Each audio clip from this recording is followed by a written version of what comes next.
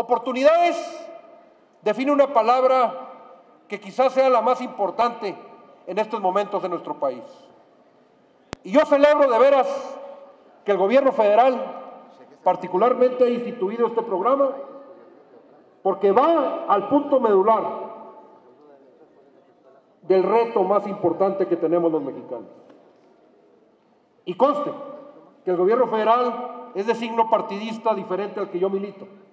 Pero hay que reconocer que solo en la unidad, en la unidad de propósitos, vamos a poder llegar al objetivo, al objetivo fundamental que queremos, que haya verdaderamente una igualdad de oportunidades en este país.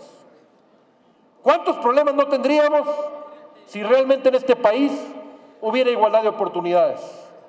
Que los niños, los jóvenes, a determinada edad, tuvieran subsanados los elementos básicos para poder desarrollarse y que llegaran a la madurez con la igualdad de competitividad que los que tienen recursos y pueden accesar. Que estuvieran cubiertos sus necesidades básicas, educación, salud, alimentación y todo lo que genera el día del mañana esa competitividad para dar a los seres queridos lo que necesitamos en un futuro.